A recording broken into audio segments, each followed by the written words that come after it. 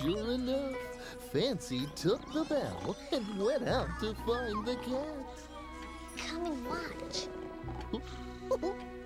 Fancy was brave enough to walk right up to that cat.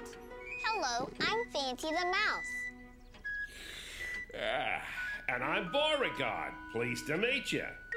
You know, Beauregard, I and my friends, Dancy, Clancy, and Chancy, think your beautiful collar would look nicer with something shiny hanging down from it.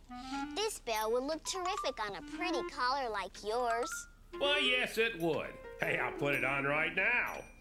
So the cat happily put the bell on his collar. Thank you for being my friend, Fancy. It'll be fun to play with nice mice like you, and Chancy, and Dancy, and Clancy. Fancy belled the cat.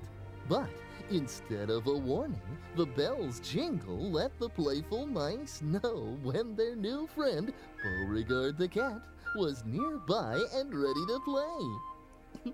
and they all lived happily ever after in the little cottage. The end. That one little bell helped the mice make a new friend. Bell. Hmm. Wait a minute.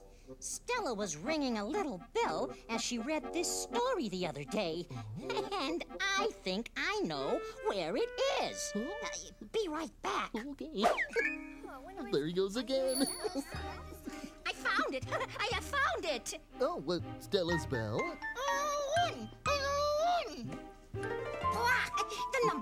One. The number one. Oh, it's from Stella's alarm clock. Now we found the number one and the number seven. But we have so many more books